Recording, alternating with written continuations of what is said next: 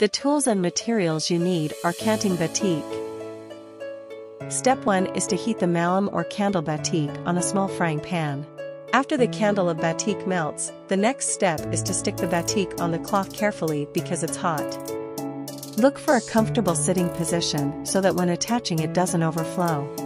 After finishing the next step is coloring. The material you need is to prepare water glass, and then some plastic cups, brushes of various sizes, and Remasol batik dye. Mix 1 gram of Remasol powder with 10 milliliters of water. Then start coloring, here I color the bird's head are blue.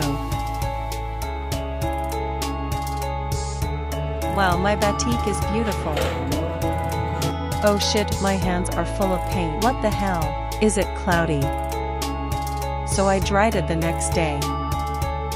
After drying is to apply water glass and then covered with a cloth. Then boil the batik candle with water and a mixture of water glass. Clean it with water and my batik jing jing is done.